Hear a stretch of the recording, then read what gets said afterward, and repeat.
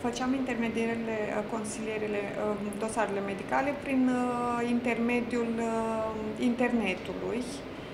Deci făceau programare pe online, ne trimiteau dosarele prin intermediul pe WhatsApp sau prin mail. Medicii vedeau acele dosare și le evaluau, după care am, uh, dădeam rezultatul, o opinie medicală în ceea ce privea pentru fiecare uh, pacient. Primeam un număr foarte mare de dosare, dintre care undeva în jur de uh, 60% din pacienții care apelau la noi și veneau în, uh, și vin în continuare în, uh, în, uh, în Turcia, în Istanbul, la spital.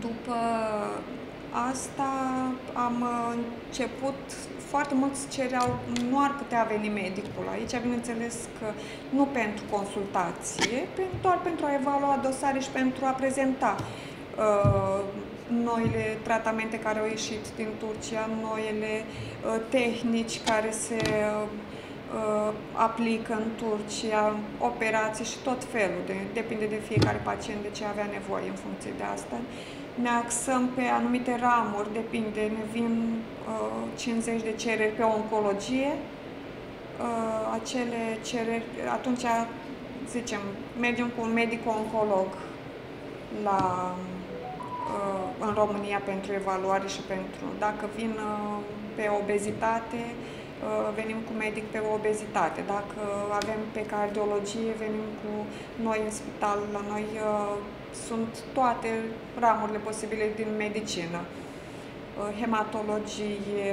mm, estetică, dinți, dantură, stomatologie, deci absolut orice.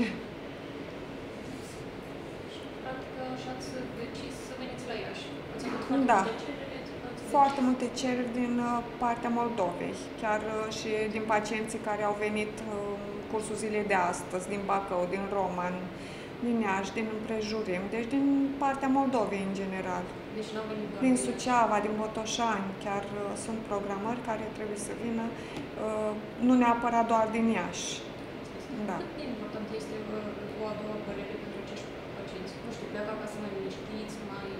Uh, din totdeauna pentru fiecare uh, și ca om, eu, uh, în afara faptului că, că sunt și cadru medical în același timp, uh, cred că orice om ar trebui, orice persoană ar trebui să apeleze la o a doua opinie, uh, pentru că e posibil că un medic să nu vadă ceva, ceea ce a văzut celălalt medic. În momentul când iei două opinii, dacă acea, acea opinie este la fel ca a primului medic, înseamnă că e, e acel diagnostic. Am avut foarte multe cazuri care uh, pur și simplu nu a corespuns sub niciun fel diagnosticul pus ori de aici, ori din Moldova, ori din alte spitale, chiar am avut și din Anglia și din Germania, deci nu numai din România, cu diagnosticuri și nu erau acele, acele diagnosticuri care nu se, se punea un diagnostic mult prea repede, fără a face uh, destule investigații ca să poată să pună un diagnostic clar și sigur ca să pui un diagnostic clar și sigur trebuie foarte, uh, foarte multe investigații făcute, adică uh, și genetice și tot felul de investigații, depinde de fiecare pacient pe ce ramură este. Dar, uh, în general, pe ramura oncologică, investigațiile sunt foarte multe de făcut ca să poți să pui un diagnostic clar nu pare, deci din prima, primele investigații nu pare, nu poate să fie, deci foarte, în, într-un tip de cancer se pot ascunde foarte multe uh, ramuri ale acelui tip de cancer. Și din cauza asta, uh, tratamentul poate fi total diferit. Chiar cancerul mamar, să spunem, care e standard, să spunem, tipul de cancer uh, lasă, uh, două persoane poate să aibă tratamentul diferit la același tip de cancer. Și din cauza asta spun că uh, pe ramura oncologică trebuie făcute investigații și mult mai multe pentru a pune un diagnostic clar.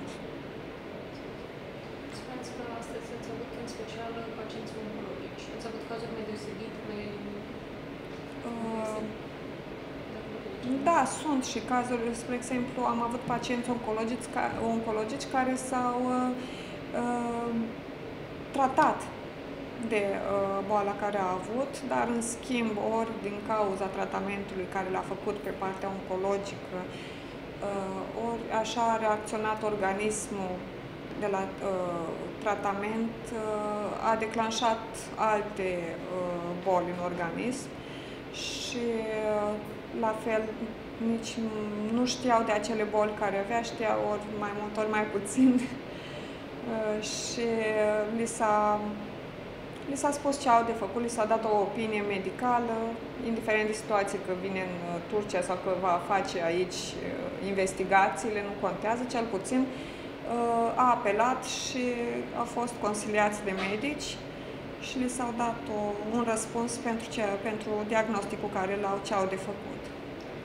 Deci, practic, dumneavoastră recomandați pacienților să apeleze la ceva de două opinie și dacă au fost diagnosticați exact. acum mai mulți ani. Exact. Și, în general, pacienții care sunt diagnosticați cu cancer, deci chiar dacă am zis cancerul, lupta nu s-a terminat și ei trebuie în continuu să uh, facă controlele care trebuie să le facă și să stea sub o observație medicală, uh, depinde de tipul de cancer, uh, ce perioadă. Unii pe toată viața, unii pe un an, unii, depinde de fiecare ce tip de cancer au avut. Am văzut acum că au venit pacienți care au solicitat opinii și pentru rude sau pentru Da. viață. Da, am avut, da, am avut chiar cazuri care un pacient uh, pur și simplu uh, nu s-a putut deplasa să vină aici, fiindcă avea metastaze pe coloana vertebrală, nu se poate deplasa și a venit cineva din familie pentru, plus că tot așa au uh, apelat și pentru, mai cunosc pe cineva care are, au adus, au, tot la fel au adus dosarele ca să putem să le evaluăm. Nu neapărat că au venit pacienți în în persoană. Plănuiți să mai veniți la Iași? Sau? Da, noi, pentru noi acum este primul proiect care l-am uh, făcut în acest sens. Uh, plănuim să venim în continuare și uh, medicul oncolog va veni probabil că de fiecare dată când vom face acest, aceste evenimente.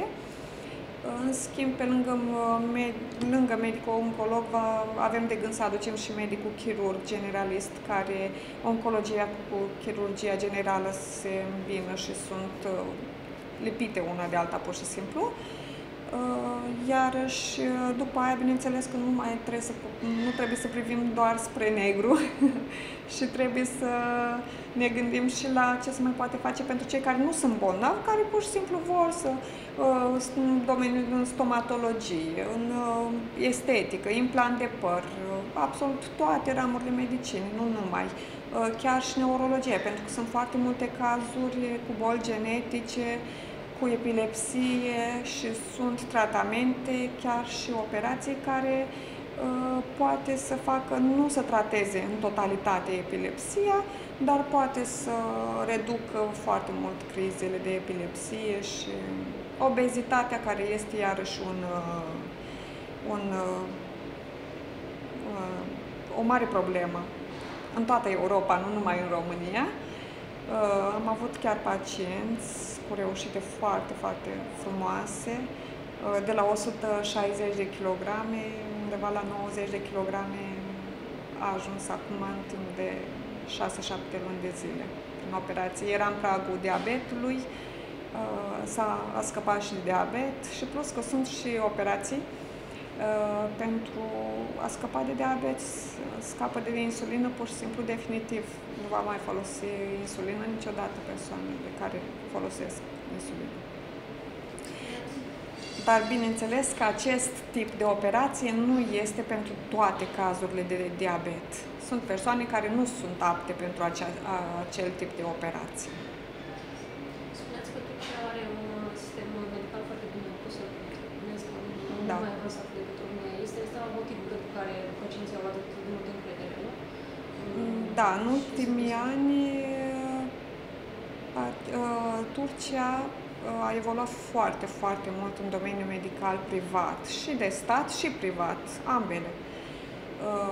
Inclusiv aparatura, tehnici, uh, foarte mult, foarte mult merg pe cercetări, foarte multe spitale, chiar și private, sunt uh, uh, asociate cu universități și deci fac tratamente care sunt unicate în lume, chiar și partea oncologică, vreau să spun că sunt tratamente foarte avansate care în Europa nici nu au, nu au ajuns și încă, încă suntem în uh, pragul de a mai scoate foarte multe tratamente, cred că până la sfârșitul anului ăsta, pe partea oncologică, care vor fi unicate doar în Turcia. Se face foarte multă cercetare pe partea oncologică. Și iarăși statul turc s-a asociat cu statul uh, din Cuba și uh, împreună fac uh, schimb de experiențe și bineînțeles că au uh, operații și chiar pentru pacienții cu metastaze în stadiu 4 uh, fac posibile operații. Spuneți că aveți uh, mulți pacienți care au fost diagnosticați aici în țară și se adresează direct la dumneavoastră, adică vin direct în Turcia, nu vor să fie operați în România. Da, da. De ce are risc asta? presupun, nu pot să dau un, expo, un răspuns foarte clar din ceea ce îmi spun pacienții dar la moment. Da, sunt foarte mulți care fac asta, dar sunt și foarte mulți care apelează tocmai în momentul când nu mai are nicio șansă, nicio soluție în România, a epuizat toate șansele din România, apelează la noi în Turcia și bineînțeles că uh, și medicii nu nici nu poate refuza un pacient pentru că e viața unui om și nu poate să-i spună după ce a făcut experiență atâția pe tine, vii la mine ca să, ce să fac eu. Dar vreau să spun că și pentru tipul ăsta de persoane, uh, undeva în proporție de 50%, depinde foarte mult și de cum reacționează organismul, dar sunt în proporție de 50% care uh, răspund la tratamentul care le și vreau să spun că fac foarte multe uh, și greșeli medicale și nu știu, ori, eu, nu vreau să acuz pe nimeni, poate din sistem, poate nu știu care este, unde este problema și unde se, se complică situația aici în România, uh, pentru că când ajunge acolo la noi, uh, medicii constată că au luat un tratament de foarte multe ori, un tratament standard uh, și nu prea multă implicare din privința medicului pentru a salva o viață.